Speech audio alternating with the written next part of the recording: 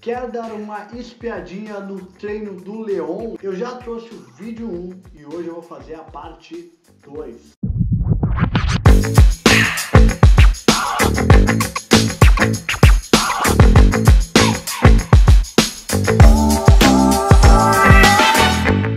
Eu sou o professor Cardoso, técnico de voleibol e especialista em salto vertical e toda semana trago um vídeo novo falando sobre preparação física de voleibol e dicas sobre como você aumentar o seu salto vertical. Para você poder me acompanhar, é importante você curtir esse vídeo, compartilhar com seus amigos e também se inscrever lá no canal do YouTube Programa Jump. Eu sempre posto vídeo primeiro lá toda quarta-feira e depois no meu Instagram na sexta. Para você não perder nenhum conteúdo, se inscreve lá e ative o sininho, que ao mesmo tempo você vai estar ajudando o canal a crescer e divulgar mais conteúdo. Terra com alter. Provavelmente como ele está em casa e o exercício terra ele é muito importante para atleta de voleibol, o Leão fez uma adaptação no seu treinamento onde ele está realizando semi-terra, ele não está indo até lá embaixo, é porque imagina ele largar aquele peso, aquela barra no chão em casa, daí não rola. A realização do terra é um exercício muito completo, ele trabalha com toda a parte posterior do corpo, principalmente os glúteos e o posterior de coxa. A gente faz um semi-agachamento e levamos o quadril mais para baixo, mantendo nossos ombros na linha do joelho e depois subindo. Esse eu já não indico fazer sozinho em casa, precisa de um profissional acompanhado do seu lado para te corrigir, porque muita gente erra nesse exercício. Então não faz em casa. Na verdade, não faz nenhum sem um acompanhamento profissional. Fica a dica.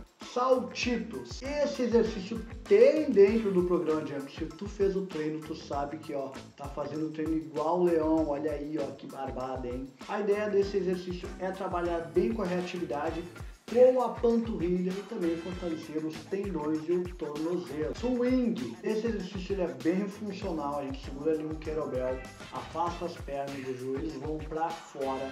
A ideia desse exercício é trabalhar com a lombar e com os glúteos. Então a gente faz ali uma flexão de tronco, depois puxa de volta, levando os braços também, trabalhando com a elevação dos ombros. E a gente consegue trabalhar com duas musculaturas ao mesmo tempo. O segundo exercício já trabalha com potência e um pouquinho de pliometria. A ideia é trabalhar com um salto dando mais ênfase para as costas. Geralmente quando a gente salta, utilizamos mais as pernas, mas a gente acaba esquecendo que a flexão do tronco faz parte do salto. Flexiona o tronco, segura o querobel e salta. Você vê que ele faz um exercício bem controlado.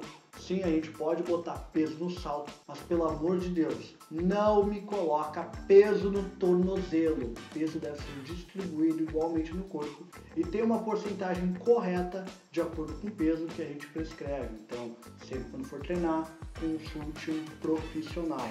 O próximo exercício é uma escalada. Ele é muito interessante porque ele é uma adaptação da prancha alta. A gente fica ali, trabalha com a parte abdominal inferior, onde a gente vai fazendo os movimentos e também com a parte cardiorrespiratória. Então, ao invés de fazer aquelas caminhadas na esteira, este exercício já é uma boa ideia para um aquecimento que já mexe com o nosso metabolismo, já prepara o nosso corpo todo e a gente já está em movimentação pronto para os próximos exercícios. O próximo exercício é um clássico dentro do mundo do voleibol. O elásticozinho ali trabalha com os deslocamentos laterais e com os abdutores da coxa. Vários atletas fazem esse treinamento também porque ele ajuda a fortalecer o joelho, corrigir postura, ao fazer os movimentos do jogo. O teu exercício é importantíssimo para atleta de voleibol. Você pode comprar um elásticozinho na internet, fazer antes de começar a treinar, que é uma ótima dica para aquecimento também. Cadeirinha. O leão não tá de castigo. Esse exercício ele é excelente para fortalecer o joelho. A gente fica no ângulo de 90 graus com as pernas escoradas na parede e fica ali fazendo o um esforço isométrico no quadris. Um programa de jump tem um exercício parecido, que não é esse, que na verdade é esse daqui, porque a gente coloca na ponta do pé, reforçando o tornozelo, protegendo mais de lesões, tanto no tornozelo quanto no joelho. Então é um exercício mais completo ainda, que gera mais instabilidade.